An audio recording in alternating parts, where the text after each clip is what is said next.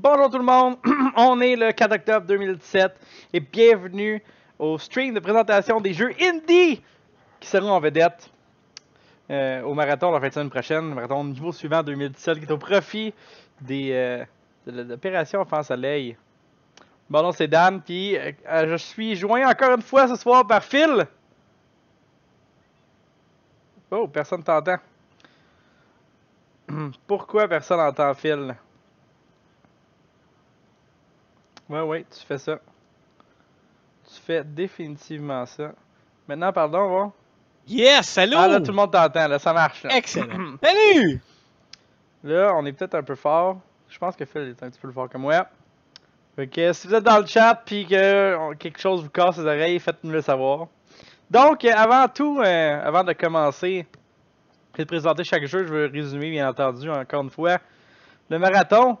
En Phil, c'est quoi le thème cette année? Indie slash AAA. Je vais te laisser l'expliquer. Faut que je l'explique aussi? Ouais, ouais, faut que tu l'expliques aussi. Ah, excellent. On a décidé de euh, présenter les deux types de jeux, dans le fond, Indie et AAA. On a splitté ça en deux euh, pour vous montrer, dans le fond, qu'il y a autant des bons jeux indépendants ou des bons jeux AAA. Euh, on a rendu la chose la plus simple possible. Euh, ce qu'on a fait, c'est que euh, au niveau indie, on est allé avec des petits développeurs et petits budgets, et AAA, bien sûr, les gros développeurs à gros budget. Exact. Puis ce marathon-là, c'est de vendredi le 6 octobre, c'est dans de deux jours, là, euh, à 17h, 19h30. Donc À 19h30. à 7h30 jusqu'à dimanche 20h. Fait que c'est un presque plus de 48 heures sans arrêt de jeux vidéo. Jour et nuit. Non-stop! C'est exact, sans arrêt. Jusqu'à ce que l'ordi à Mad euh, ait un blue screen of death. non, mais ça arrivera pas, là. On est bien préparé cette année. Et donc, euh, comme que Phil vient d'expliquer, on a un nombre égal de jeux indie puis un nombre égal de jeux AAA qu'on va jouer en alternance, là, indie, AAA, indie, AAA, avec des fois... euh, euh, des fois, ça va être deux. On va, on va jouer un après l'autre quand même la majorité du temps. Puis la semaine passée, vendredi passé, on a présenté les jeux AAA qui allaient être, euh, qui allaient être joués pendant le marathon. Donc, euh, si vous avez manqué cette vidéo-là, puis ça vous intéresse de savoir quel jeu qu'on que- qu'on va jouer, on a, la vidéo est sur YouTube ou sur notre page Facebook. Vous pouvez aller aux deux endroits. Puis euh, vous pouvez trouver cette sympathique autre vidéo-là, puis nous regarder encore moi et Phil, nos sympathiques faces, vous expliquer les jeux AAA. La semaine passée, j'avais aussi expliqué que euh, la façon que ça fonctionne, c'est qu'on a un jeu qui va être déterminé, si on veut, par vous, les auditeurs. En gros, euh, on a choisi un jeu indie puis un jeu AAA qui vont, face qui vont être en compétition l'un l'autre de vos votes. Puis ça va être le dernier jeu qu'on va jouer la fin de semaine. Fait que c'est soit le jeu indie ou soit le jeu AAA que vous allez avoir choisi. Quand vous faites des dons pendant le marathon, vous pouvez euh, mentionner que cet argent-là va pour le jeu AAA ou le jeu indie. Puis nous, on compile ça. Puis le jeu qui va ramasser le plus d'argent, et ben c'est ce jeu-là qui va être joué à la fin du marathon.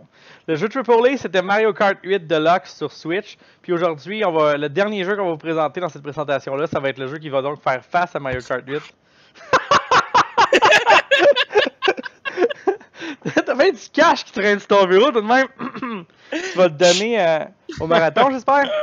Je vais en donner au marathon, c'est sûr que je participe moi-même à mon propre marathon. Donc, euh, sans plus tarder, passons au premier jeu. Le jeu de Guillaume Martin. Tu sais, tu sais quoi le jeu de Guillaume, euh, Phil? Moi, je me rappelle, les indies, sérieux, là. Même là, t'es comme, la semaine passée, tu me faisais parler, puis tu disais, ouais, ça, va falloir que tu m'expliques ça. J'ai peur de où ce que tu t'en vas à soir. Ah ouais? ben, le premier jeu qu'on va présenter, qui est encore une fois le jeu de Guillaume, Ah, c'est Journey. Et ben, j'avais des vidéos la semaine passée aussi. Ah, ok. Journey, qui était un jeu de Non. PlayStation 3 par la compagnie qui s'appelle That Game Company, qui était un succès euh, international. Parce qu'apparemment, moi j'ai jamais joué. Puis c'est un des jeux qu'il faut que je joue dans ma vie ou que je vois. Fait que c'est pour ça que je vais accompagner Guillaume pendant le marathon parce que moi je vais découvrir le jeu pour la première fois puis je vais peut-être pleurer parce qu'apparemment c'est très émotionnel. C'est un super beau jeu. Tout ce que je sais c'est que t'as une espèce de petite personne comme ça euh, habillée en rouge puis tu te promènes dans le désert.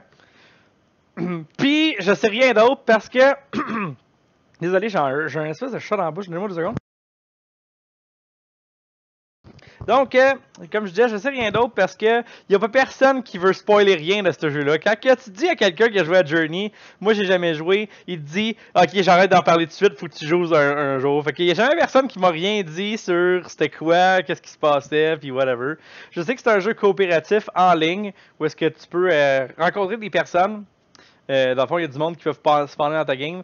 Puis le seul moyen de communiquer, c'est un ping. Donc chaque personnage peut faire un ping, puis il peut faire du morse avec, genre en tenant le ping ou en faisant en pesant plusieurs petites fois un ping. C'est tout ce que c'est de il y a vraiment aucun chat, rien. Ah, là. rien. Tu fais juste communiquer par un ping. Genre un son que tu peux allonger ou raccourcir ou faire répétition ou pas. Hmm. Mais euh, ce jeu-là a gagné des prix, des Game of the Year pour un petit jeu indie sur PlayStation 3. Puis il est sorti sur PlayStation 4 euh, quelques années après que la PlayStation 4 soit sortie. Et euh, Guillaume va y jouer au complet. C'est pas très long comme jeu, Guillaume. En deux heures, il va avoir le temps de faire le jeu au complet. Fait que Ah, cool, si cool. jamais vous avez déjà joué à Journey puis vous savez c'est quoi puis vous voulez revivre cette expérience-là, ben vous pouvez vous pointer pendant le stream avec Guillaume. Ou sinon, euh, si vous avez jamais vu Journey mais vous avez vous, doutez, je sais pas, vous voudriez ça voir quelqu'un jouer, mais c'est pas nécessairement payé pour le jeu, ben vous pouvez m'accompagner moi, alors que je vais aussi faire l'expérience de Journey pour la première fois euh, à travers la game Guillaume. Excusez, je ramassais encore mon argent. Ouais, c'est ça, t'as pitché ton argent. J'ai trouvé un vrai à l'autre bout, tu vois. Hey, a pitché de l'argent, ça fait apparaître plus d'argent. Yeah! Le deuxième jeu qu'on va présenter aujourd'hui, c'est le jeu de Joe. C'est Pyre, des créateurs comme qui se marquait à l'écran en ce moment de Bastion et Transistor, qui est Supermassive Game. Euh, ça, c'est un mix de RPG puis de genre jeu de sport. Ou est-ce que c'est des deux teams de 3v3 qui s'affrontent dans un sport qui a été un peu créé, qui ressemble un peu à du basketball. Il faut que tu amènes une balle dans, dans le but de l'autre bord. là. Euh, mais c'est la, la similarité arrête là. Parce que tu peux comme tuer les autres, puis whatever, des habiletés spéciales. C'est très en même temps narratif. Euh, Joe il jouera pas au complet. Mais euh, ça risque d'être très intéressant. C'est sorti cette année, c'est tout nouveau, de 2-3 mois. Puis euh, il y a eu des excellentes euh, aussi critiques, puis euh, les, les gens apprécient beaucoup ce jeu-là. J'ai même pas entendu parler de ça. C'est- Il y a bien des indies de même, hein. On... C'est pas trop. hein. On Effectivement, en il y a entend moins parler. Il y a beaucoup d'indies qui sortent. Mais ça, ce jeu-là, il y a beaucoup de monde qui en ont parlé. Ça a été le. C'est ça, quand il y a un mix de RPG puis de, de jeux de sport qu'ils ont créé pour ça, puis de- d'histoire puis de Hmm. narration comme les jeux de Supermassive Game, comme Bastion. Ceux qui ont joué à Bastion pour Transistor savent qu'il y a une grosse histoire dans ces jeux-là, puis que c'est vraiment un, un- un des piliers importants pour euh, de la compagnie de- d'avoir une, une écriture bonne puis des personnages intéressants. tout. Fait que, Pyre, c'est à ne pas manquer. Oups, j'ai fermé la vidéo sans switcher. Ensuite de ça, je sais pas qu'est-ce que tu vas pouvoir expliquer là-dedans, Phil. La semaine passée, là, j'y allais genre jeu par jeu, puis je m'étais dit, ah ça, Phil, Phil, il pourrait expliquer ça. Tu es capable, Smash, tu es capable. Ouais, Smash, genre exact, c'est ça. J'y allais pour te laisser de quoi parler, pour pas avoir l'impression de parler tout seul comme un épais. Ouais. Mais là, Euh, je sais te pas. pingerai. Je sais pas du tout qu'est-ce que tu vas pouvoir expliquer. Le prochain jeu, c'est Under Night in Birth EXE. Deux points euh, laté ou lat, late. Fait que je sais pas si l'important, c'est que je suis là. Ouais, effectivement. Comme ça, tu peux pitcher de l'argent. Ouais. Donc, euh, ça, c'est un jeu de combat. C'est un des, un des deux jeux que Xander va jouer. Xander va jouer. euh, il va avoir deux segments de 1 heure et demie. Euh, puis il va faire deux jeux de combat dans ces deux segments-là. Puis ça, c'est un des deux qu'ils ont choisi. Euh, c'est un jeu en 2D qui fait penser un peu à Guilty Gear. Vu de même, ceux qui connaissent la série Guilty Gear, c'est un un autre jeu de combat en 2D. C'est développé par. C'est NIS America qui publie ici aux États-Unis, mais euh, au-delà de ça, euh, j'ai pas plus d'informations sur ça. Je sais pas, c'est pas, euh, c'est pas un jeu auquel je joue super gros. J'en ai entendu un peu parler, mais euh, je sais même pas si c'est quelque chose qui est apprécié dans le fighting game community c'est très animé. C'est très très Ouais, animé japonais. Ça a l'air sharp quand même. mais- Les, les animations sont super cool, puis je sais pas si l'histoire est bonne. Va falloir aller regarder Zender pour avoir la, la réponse. Faut être là, il faut être là. Il faut être là, exact. Puis en parlant de Zender, ben on va finir tout de suite son autre jeu. Son autre jeu, c'est Melty Blood. Euh, Puis ça, j'ai déjà joué. C'est un autre jeu de combat. Euh, un petit peu plus indie encore que que, que, que Under Night Binush Binush. Euh, je me souviens que Melty Blood, ça avait été un jeu de combat qui avait été fait quand même assez longtemps. Comme vous voyez, le jeu est en 4-3 là, dans l'écran. C'est pas parce que j'ai mon YouTube a encore fucké comme la semaine passée. C'est vraiment parce que c'est ça la, résolution de l'écran. Si, je me souviens bien, la première édition était sur PS2. Puis c'était un espèce de retour. Il voulait, euh, il voulait retourner un peu au, euh, aux roots d'autres jeux de fighting. Là, où est-ce que tu joues avec deux personnages, puis c'est deux contre deux, puis tu switches entre les deux. Ou c'était-tu deux contre deux? Non, ça a pas l'air d'être deux contre deux, mais là je regarde l'écran. Je dois mélanger avec d'autres choses. Mais ça aussi, c'est très animé. Puis, euh, euh, il y a, il me semble que c'était, tout des personnages féminins? Non, non, non.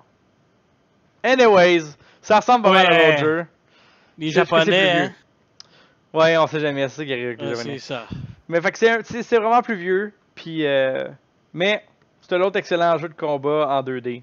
Puis Xander va faire le, le story mode des deux. Ah oui, euh, Under Night, je viens de penser. Euh, Xander m'a précisé qu'Under Night in Birth EX la, la- Lat, ça joue à deux. Fait qu'il va jouer avec Guillaume. Ah oui, c'est vrai. Fait qu'ils vont jouer en co- en coop ou un contre l'autre, je sais pas trop comment ça fonctionne. Là. Fait qu'il va avoir du, euh, du multiplayer, du, du joueur, du joueur multiple. Pff, je viens de dire ça, tu croches, mais c'est pas grave. Maintenant, Multiple. passons les, les choses plus sérieuses et les choses plus explosives. Ça, tu vas peut-être pouvoir en parler. Martin joue à Explosion Man. Oui, ben oui, ça je peux en parler. J'ai, euh... ben c'est un platformer bien sûr. J'ai vu Martin jouer justement un petit peu, il s'était là là. J'ai- pas voulu le regarder au complet, je veux pas euh, me spoiler, tu sais, si je suis là puis je le regarde, je veux le voir. Fait que euh, Explosion Man, ça a l'air d'être un jeu que pour avancer, ben on le voit à l'écran, c'est t'exploses toi-même. Tu Ouais. jumps ces murs pour jumper d'un mur à l'autre pour faire des wall jumps, c'est toujours t'exploses puis t'exploses puis t'exploses. Ouais, Qu'est-ce qui te tue? Ben, j'ai pas remarqué qu'est-ce qui te tue exactement encore dans le L'eau jeu. Il y a- il y a- dessus. Ah, de l'eau dessus, bah, oui. Fait que, euh, ils, ont, ils ont trouvé quelques moyens originaux. euh, C'est différent, c'est le fun. C'est ce que j'aime souvent des platformers indie. Ils trouvent des manières d'innover. Right. Donc Martin, c'est une speedrun qu'il fait. Fait qu'il va faire encore aussi une fois le jeu au complet. Euh, il se pratique en ce moment si vous voulez aller le voir sur son stream. Je pense qu'il stream le, le matin à 11h qu'il m'avait dit, je suis pas sûr. Allez sur sa chaîne, son, sur son Facebook, sur Big Kmart, pour avoir toutes les informations de, de, son, de ses streams si vous voulez avoir un aperçu de, de sa run. Super Big Kmart. Exactement.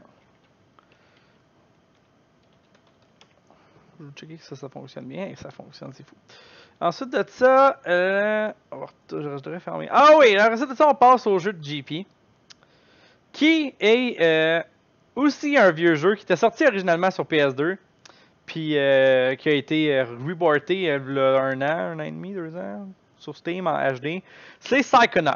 Hmm. Psychonaut, c'est un jeu d'aventure fait par Double Fine, qui est la compagnie d'un développeur très connu dans l'industrie de jeux vidéo qui s'appelle Tim Schafer.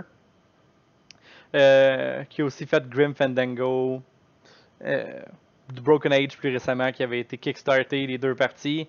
Euh, Brutal Legends, whatever. C'est tout des, des- de son genre de jeu à lui. C'est toujours des univers un peu fuckés, puis euh, des personnages un peu. euh, ben, vous voyez à l'écran, c'est l'impression que je veux dire, c'est vraiment. euh, comment c'est vraiment genre. Pas réel. Right? C'est genre des personnages farfelus, c'est le terme que je cherchais. Puis encore une fois, l'histoire est très importante. Tu fais des choix, tu découvres des trucs, il y a des puzzles à résoudre. C'est quand même des jeux intéressants. Euh, JP fera pas le jeu au complet, évidemment. C'est un jeu d'une dizaine d'heures. Euh, il va faire le début. Fait donc, genre, donner un aperçu un peu de, de Psychonauts. Puis c'est un- c'était un, des classiques de la PlayStation 2. Puis il y a plusieurs personnes qui disent que c'est un des meilleurs jeux de PlayStation 2 sur la plateforme. Puis il y en avait en maudit des jeux de PlayStation 2 dans le temps. Ouais, Fait quand même. Ah, yeah, yeah, yeah, ouais, ça, c'est pas mal. là. Fait que, c'est de ne pas manquer. Psychonauts, qui est le jeu de GP. Le jeu suivant, je sais pas si tu feras- je sais pas si t'as joué ou t'as t'as- t'as essayé ça. C'est le jeu de Marie-Pierre. Marie-Pierre va jouer à Ah. Darkest Dungeon. Je connais pas pas en tout pour vrai. Tu connais pas pas en tout? Je suis sûr Pas que c'est le genre de jeu que t'aimerais en plus, Phil. Ah! C'est un jeu qui sorti en 2015 euh, où est-ce que c'est euh, des aventuriers qui sont recrutés pour euh, voyager dans des donjons. C'est du 2D comme ça, puis les combats c'est du euh, turn-based. Mais euh, ce qui est vraiment intéressant dans ce jeu-là, c'est que euh, c'est toute la mécanique psychologique en arrière des personnages. Parce que quand tu les fais aller dans des donjons, c'est très difficile. Ben, difficile. Faut pas que tu fasses un move Ouais. croche, puis t'as des chances de misser un peu. euh, Ben, on en parlait l'autre fois, ils ont tous comme. Ils peuvent avoir peur. pis tout, Exact, ils ont toute une barre de morale. Puis plus qu'ils se bouffent ouais. du dégât, puis plus qu'ils perdent des alliés, puis le plus qu'ils continuent à aventurer sans avoir de pause, sans s'ils commencent à plus avoir de bouffe, si peu importe ce qui arrive, ils commencent à perdre la morale, puis euh, ils peuvent développer des maladies mentales, genre euh, genre être trouillard ou puis plus jamais attaquer ou euh, whatever. Il y a un paquet d'affaires, je les connais pas toutes parce que moi personnellement j'ai pas joué super gros là. Mais c'est un jeu qui est reconnu surtout pour sa difficulté. Puis Marie va jouer au niveau de difficulté le plus difficile. Oh shit, ok. Pour, euh, parce que j'ai pas de meilleur mot. Ben, elle joue gros, je pense. Elle a joué gros? Elle a joué quand même gros? pas mal. C'est un, un jeu qu'elle elle apprécie beaucoup. Donc, euh, Darkest Dungeon, ça va être bien intéressant. On va voir. Marie est aussi violente avec ses personnages d'habitude. Ils, ils toffent pas très longtemps puis ils deviennent fous rapidement. fait que Ah. ça va quand même être intéressant. Bon, le prochain jeu, Phil, je suis sûr que tu peux en parler. Ça va donc moins Je t'en donner un Je deux sais autres. pas. Je Le jeu de. Jess. Ah! Jess, ça joue à? Elle joue à Banjo Kazooie! Mais non! Yukai Lele! Qui est le Exactement. successeur spirituel de Banjo Kazooie, en fait. Right. Euh, le principe d'avoir deux bonhommes, un bonhomme sur la tête qui est un platformer en 3D, un peu dans le même principe. Euh, ça, ou à la Mario, si on veut, là, un peu euh, semblable. C'est-tu le même développeur ou c'est vraiment juste un successeur spirituel? Ben, la compagnie est nouvelle pour, pour Ukulele, mais elle a fait. y- y- les gens qui se travaillent pour cette compagnie-là puis qui ont travaillé sur Ukulele, il y en a qui, euh, qui ont travaillé sur Banjo Kazooie et. C'est ça, hein, c'est ça. C'est pour ça qu'il y a beaucoup de similarités puis tout. Exact. Fait que s'il y a des gens qui ont vu la run de Banjo Kazooie de Phil l'année passée, ben là attendez-vous à, à voir Jess meilleur. Parce que, Ouais, ouais. parce que Ben, la run de Phil joué, était, était, était violemment triste à regarder. Ouais, euh, je prends pas un jeu que j'ai jamais joué encore. Non, non, pas cette année. Pas, pas sur un stream live, euh, de, pas, pas sur un marathon live. Sur un stream, c'est moins pire, là. Mais... Et finalement, le, deux, le dernier jeu euh, single player, c'est le jeu de Mai. C'est euh, un jeu qui s'appelle Night in the Woods. Où est-ce que dans le, tu joues un petit chat. C'est la raison pour que Mai a pris ce jeu-là. C'est parce que le personnage principal, c'est un chat. Et euh, ta job, c'est de te promener dans le bois. C'est un jeu extrêmement narratif où est-ce que tu rencontres des personnages puis tu lis beaucoup. Je sais, j'ai aucune idée euh, qu'est-ce que ça va donner puis euh, à quel point l'histoire elle avance vite puis le, nombre. Je sais pas combien de temps qui dure le jeu d'ailleurs. Ce serait peut-être une bonne idée. Je suis curieux. How long to beat, howlongtobeat.com, tout le monde. euh, Night, in the Woods. C'est un excellent site quand vous savez pas trop si vous devez investir du temps. On parle de 8 heures selon How long to beat. Fait que c'est sûr que Mai euh, finira pas le jeu. Il y a quelques C'est un platformer? euh, ouais, c'est en 2D. T'as des petits bouts de plateforme, mais ça a surtout l'air d'être du. Euh, euh, comme un. Ouais, c'est ça. Très narratif avec beaucoup de texte à lire. Il n'y a pas de voice acting dans le jeu. Puis euh, ça a l'air aussi un petit peu euh, euh, sinistre, mettons. C'est un Ouais, hein? c'est- Ça a l'air genre ouais, un peu psychologique. Puis. en tout cas. C'est quand même intéressant si, si, euh, si le ton puis le vibe que vous avez vu dans le trailer vous intéresse. Euh, ça pourrait être un, bou- un- intéressant de voir comment ça commence, puis après ça, vous allez peut-être avoir le- la piqûre de continuer. Ça fait le tour de tous les jeux single player, euh, Phil. Tous les jeux qui sont jetés, choisis individuellement par un membre de niveau suivant, parce que Zender va quand même jouer les jeux multiplayer. Il en joue deux. Ouais, exact. Mais comme on a dit la semaine passée, on n'a pas juste des jeux qu'on a choisis individuellement, il y a aussi des jeux où est-ce qu'on va jouer en groupe, en Yeah. soit coopératif ou euh, compétition. Et ce premier jeu que je vais présenter aujourd'hui de Indie, c'est un jeu définitivement coopératif. Parce que si quelqu'un fait pas bien sa job, tout le monde meurt. Et j'ai nommé le très violent Overcook Oh! sur Steam. Donc, Overcook, c'est un jeu qui J'ai vu un peu de quoi ça avait de l'air, mais. Overcooked, c'est un jeu qui est sorti la- l'année passée, qui a gagné quelques prix, où est-ce que le but c'est de faire de la bouffe, mais il faut que les, euh, les joueurs qui jouent euh, coopèrent entre eux, donc ils splitent les tâches, puis fassent leur job, puis soient quand même efficaces pour, euh, genre, quelqu'un prend la- les, les légumes, puis les mettre sur la table, cette même personne-là, il va falloir qu'il prenne, là, après ça, il y a un autre joueur qu'il faut qu'il prenne les légumes, qu'il les coupe, qu'il les ramène sur la table, parce que, la- comme vous pouvez voir, les, les maps sont divisées en deux, où est-ce qu'il y a toujours un- une personne d'un bord de la map, puis l'autre dans l'autre bord, puis il y a des outils différents des deux côtés. Fait que euh, une personne peut pas faire toutes les étapes. Tu es obligé de se fier à, ses alliés. Puis là, ben, il y, a des- il y a des maps qui bougent, les recettes deviennent de plus en plus compliquées, il commence à faire noir, tu manques d'électricité, tu as des clients chialeux. Il y a un Hmm. paquet d'affaires qui peut arriver qui compliquent. euh, tu conduis La dans glace. des autos, whatever, genre. euh, ça complique beaucoup euh, les recettes, puis la façon de. Du feu dans la cuisine. whatever, il y a plein de Des choses boules qui de feu qui passent à travers la cuisine. Euh, Donc, euh, c'est Et- hilarant comme jeu. J'ai joué, on a joué un petit peu au- pendant nos tests euh, samedi passé. Ben, pas toi, là, parce que tu vas faire un autre 6. Mais, puis on a eu bien du fun, genre, puis on a juste joué 5 minutes. Fait que j'ai bien hâte de voir comment ce qu'ils vont. que- comment ça fun ça va être quand tout le monde va jouer pendant une heure. Je me souviens plus qui c'est qui joue à ça. Qui c'est qui joue à Overcook Je me souviens même plus si je joue à Overcook. J'ai dit que je joue à Overcook Non, c'est Joe, Jess, Pat puis Francis. Ils vont avoir du fun, c'est sûr. Je suis vraiment triste de pas faire partie de ça. J'ai juste, joué un peu, puis je suis comme, ah, probablement que je l'achète sur Switch. Il est sorti sur Switch aussi cette année, fait que... Ah, Le deuxième jeu, je sais pas si tu avais joué euh, chez vous quand on avait fait un LAN, Little League. Non, mais je pense que tu parles de l'affaire que tu tapes avec un bat de baseball puis la balle elle revole vraiment vite dans l'écran, puis je sais pas trop, c'est ça? Exactement. Fait qu'en gros, euh, c'est un, un, ça c'est un jeu compétitif où est-ce que quatre personnes dans notre cas vont jouer un contre l'autre, sont dans la même petite pièce 2D, euh, genre à la Street Fighter là, où est-ce qu'il y a des limitations de chaque côté, puis tu peux te promener de gauche à droite. Puis euh, il y a une balle que tu peux frapper pour la lancer vers tes, tes, tes ennemis qui dans contre d'autres membres de niveau suivant. Puis euh, la personne qui euh, manque sa shot à frapper la balle puis qui se prend la balle de l'autre en pleine face, ben il meurt. Il est disqualifié pour le rendre. Puis c'est euh, le survivant gagne dans le fond. Fait qu'on commence 4, il y a une balle, puis tout le monde fait sa balle. Puis quand tu fesses la balle, euh, la balle est comme il y a comme ta couleur autour de la balle pour dire que c'est toi qui l'as fessé puis qui est dangereux. Fait que maintenant que t'es le player rouge, ben euh, la, la balle va être. Comme, vous le voyez en ce moment dans les screenshots, là, quand un joueur ferait. C'est quand même assez dur à voir. Mais il y a des Tu peux splashes de couleur de la personne qui l'a fait. Tu peux charger, tu as des attaques spéciales, tu peux sauter. Euh, c'est vraiment rapide comme jeu, violent dans le sens que si tu fais une erreur, tu, euh, tu meurs très probablement. Et euh, c'est vraiment c'est des fous rires euh, incroyables parce que les- la balle a fait des espèces de spins puis des rebounds un peu, un peu nowhere. Puis puis euh, tout le monde est dedans.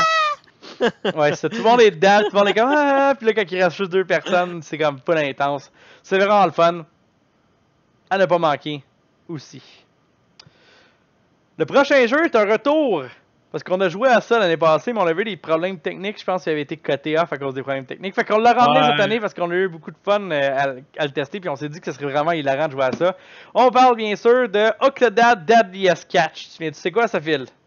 Euh, chaque personne, en fait, tu contrôles une pieuvre et chaque player contrôle une patte de la pieuvre pour avancer. Right, une tentacule sur les quatre la- une tentacule, exact, pas une patte. Exact. Euh, Il y, a, quatre- euh, il y a juste quatre tentacules. Il y a quatre tentacules. Deux, Ouais. deux pieds puis deux bras parce que la pieuvre elle a une espèce de forme humanoïde. Fait que les joueurs qui veulent marcher, il faut qu'ils.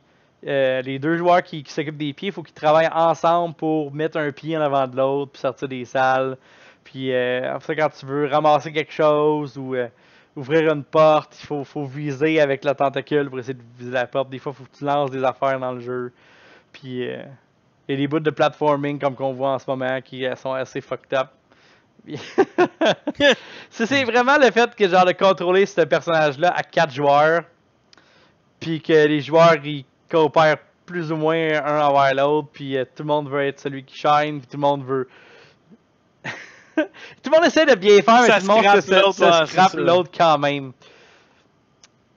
À ne pas manquer, ça non plus. Je dis souvent à ne pas manquer, mais il y a vraiment beaucoup de choses à ne pas manquer. C'est vraiment tous des pas- jeux qui vont vraiment être le fun, la fin de qui vont des fourrés. C'est ça, exact. Toute la fin de semaine, t'en as pas manqué dans le fond. 48 heures à ne pas manquer. Le prochain jeu, c'est une toute nouveauté que moi, je n'avais jamais joué ni vraiment entendu parler avant, avant, de, de- de- avant la planification de ce marathon-là. C'est Monaco, qui est un jeu euh, coopératif où est-ce que quatre joueurs travaillent ensemble pour euh, accomplir des vols ou euh, en anglais, ça s'appelle des heists.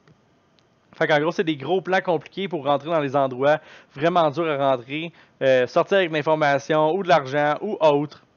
Euh, c'est un genre 2D top-down est-ce que les joueurs ont tous leurs petits bonhommes là, que vous voyez dans le fond le- le, Très pixelisé. très pixelisé. Euh, il là. y a quatre classes dans le jeu. Euh, dans le fond, il y a quatre skills dans le jeu. Euh, toutes les classes peuvent faire toutes les skills, mais chaque classe est spécialisée dans un skill. C'est beaucoup plus facile pour lui de faire ce skill-là. Par exemple, le locksmith, il euh, défait les locks, right? Tout le monde peut, tout le monde peut euh, débarrer une porte avec un, un- des tools, des outils pour piquer les locks. Sauf que le locksmith, ça il prend trois fois moins de temps à le faire. Fait que c'est quand même vraiment avantageux de le faire faire parce que s'il y a une patrouille qui s'en vient et tu veux pas te faire spotter, tu vas pas mettre un tool que ça va y prendre Euh. 3 minutes quand tu peux y en rendre un, ça va prendre 30 secondes. Right. Fait qu'il faut travailler avec les forces de chacun pour être capable d'accomplir euh, chaque, euh, euh, chaque vol, chaque plan, puis s'en sortir euh, sans se faire arrêter. Ça va quand même être intéressant. Ça, c'est c'est vraiment nouveau. J'ai hâte de voir euh, quel genre de. J'ai j'ai aucune idée, j'ai aucune perception sur le genre de, de tableau qu'il y a, puis c'est quoi les obstacles, puis tout. Mais le concept est vraiment cool, puis euh, Mhm. je- que si la compagnie puis le jeu est vraiment bien fait, ça peut créer des, euh, euh, justement des, des, des tableaux puis des levels très intéressants, puis très fun à regarder. Quoi, Phil? Un jeu à voir. C'est un, jeu à ne pas manquer. À ne pas manquer, c'est ça.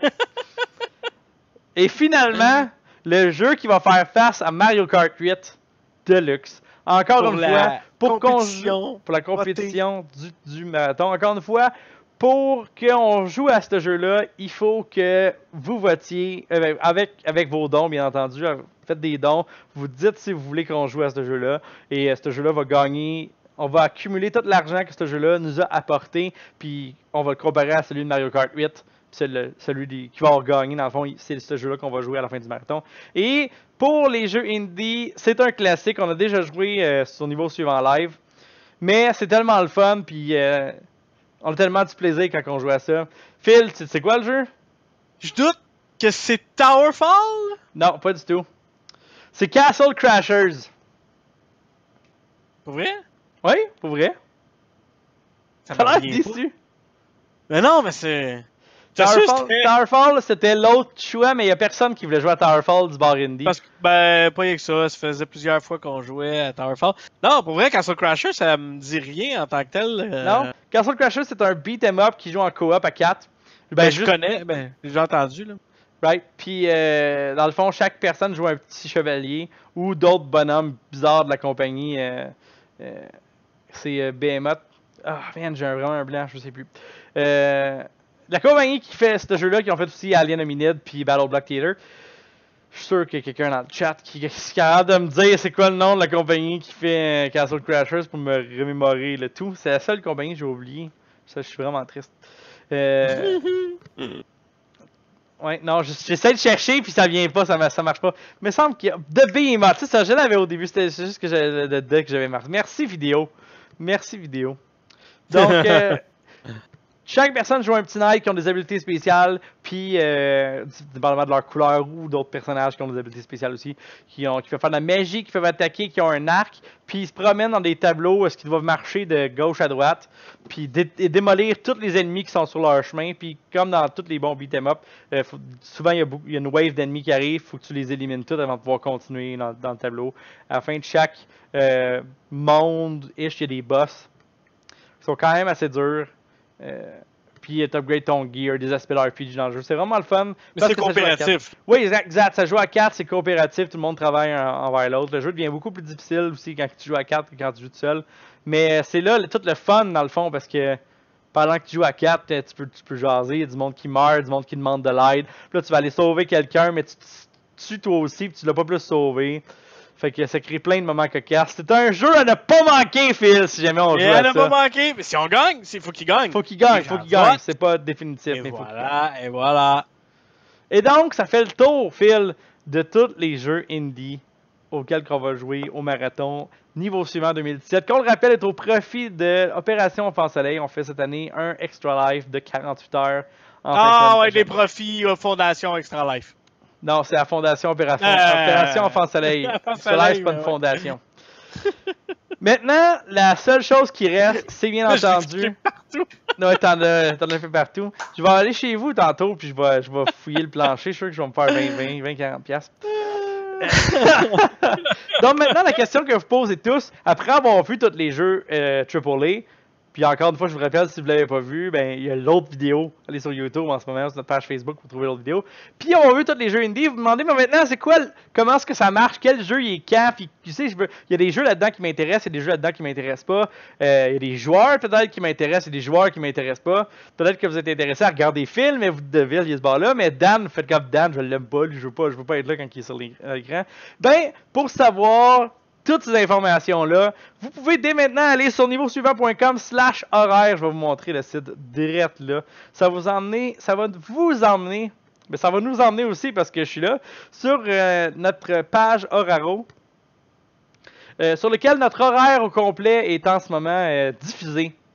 Euh, donc, on peut voir ici qu'à à, à 17 à 7h30, je suis toujours dans le dire 17h30, mais c'est 7h30, 19h30. Le marathon commence avec le mot d'ouverture qui va être bien entendu présenté par moi et Prescott, comme d'habitude, parce qu'on est les deux dos les plus sympathiques du niveau suivant. C'est mal? niveau suivant, slash horaire. Non, mais c'est-tu? Ouais, ouais, ça vient de briser le, le cerveau à fil. Puis on commence le marathon. Le premier jeu qui va être joué, c'est Super Smash Bros. for Wii U. Fait qu'on commence fort avec la grosse compétition où est-ce que Yann, Mike, Jess, JP, moi, Zender, Pat puis Prescott, on va, euh, on va se fesser dessus avec des personnages de Nintendo et ou Jeux Connex pour voir qui est le meilleur Smasher. Les 8 dans la même map, là. Euh, non, ce qu'on va faire, c'est qu'on va faire euh, deux matchs à 4 contre 4. Puis là-dedans, il va y avoir un vainqueur de chaque match qui vont faire un 1v1. Puis s'il reste du temps, parce qu'on a quand même un heure et quart, ben là, on fera des matchs friendly 8 contre 8 ou whatever, ceux qui veulent Ah, continuer à jouer. Mais la, la, la, for- la formule du tournoi, c'est 2 4 contre 4 puis 1 2v2. Ben en fait, ça va être un best of 3 là, en 2v2. Ça va être un petit peu plus longtemps. Alright. Le 1v1, excusez, ça va être un best of 3. Ah, ouais, ouais. Donc, celui qui gagne deux parties sur trois. Et ensuite de ça, on va avoir euh, Melty Blood de Zender, Yakuza Kiwami de Mad, puis vous pouvez lire le reste jusqu'à le à 6h15 le dimanche soir où est-ce que ça va être Castle Crashers du Mario Kart Deluxe encore une fois selon ce que vous avez choisi l'audience. À quoi qu'on va jouer on ne saura pas. Puis évidemment il y a le mot de la fin à 7h30 le dimanche. Ouh, ça fait un long 48 heures qui commence Oh, ce vendredi.